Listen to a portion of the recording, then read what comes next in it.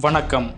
இன்றைய மருதமலர் உறவுகள் தொலைக்காட்சியின் செய்திகளுக்காக தென்காசியில் இருந்து நெறியாளர் மாமன்னா தமிழ் தேவேந்திரன். கோவை பொதிகை இல்லத்தில் நேற்று தலைவர் டாக்டர் ஐயா அவர்கள் தலைமையில் ஆலோசனை கூட்டம் நடைபெற்றது. அதாவது பத்து எட்டு இரண்டாயிரத்தி இருபத்தி ரெண்டு புதன்கிழமை கோவை பொதிகை இல்லத்தில் தலைவர் டாக்டர் ஐயா கிருஷ்ணசாமி அவர்கள் தலைமையில் புதிய தமிழக கட்சியின் மாநில அரசியல் உயர்மட்ட குழு கூட்டம் நடைபெற்றது.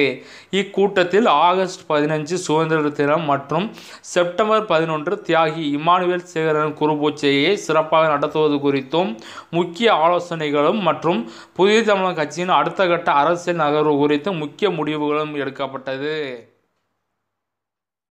ஜெனட் பதவிக்கு தேவேந்திரகுல வேளாளர் சமூகத்தை சார்ந்த பெண்மணி போட்டியின்றி தேர்வு செய்யப்பட்டுள்ளார். தமிழ்நாடு டாக்டர் அம்பேத்கர் சட்ட பல்கலைக்கழக ஆட்சிக்குழு உறுப்பினர் ஜெனட் பதவிக்கு தேவேந்திர குல வேளாளர் சமூகத்தை சார்ந்த திருவைகுண்டம் வீரலப்பேரி கிராமத்தை சார்ந்த திருமதி ரம்யா செல்வநாயகம் போட்டியின்றி தேர்வு செய்யப்பட்டுள்ளார்.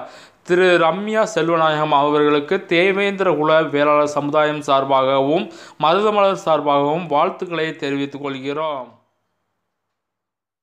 ஆடி பெருவிழாவிற்கு புதிய தமிழகம் கட்சியினர் அழைப்பு.